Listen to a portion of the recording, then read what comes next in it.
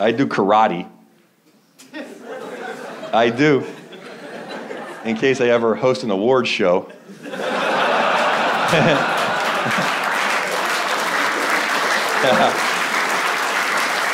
I'll be like, five swords, motherfucker.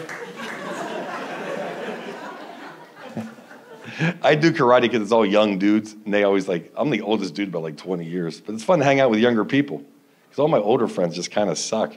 They don't do anything anymore, and they kind of get on me. They're like, What's your retirement plan? Like, my retirement plan is to die. and a couple baseball cards. a couple mint Rod Carew is going to pay the mortgage. like, I'm old enough to be in the Viagra commercial. But I've never used Viagra, never had to. Man, look get the same steel I used to get back in seventh grade when I was breaking desks. Feels like a rocket ship taking off in your pants. You hear the MTV music.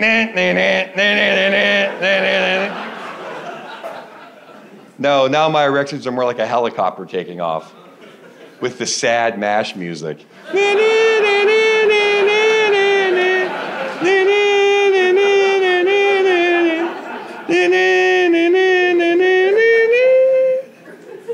grab a towel, radar, grab a towel.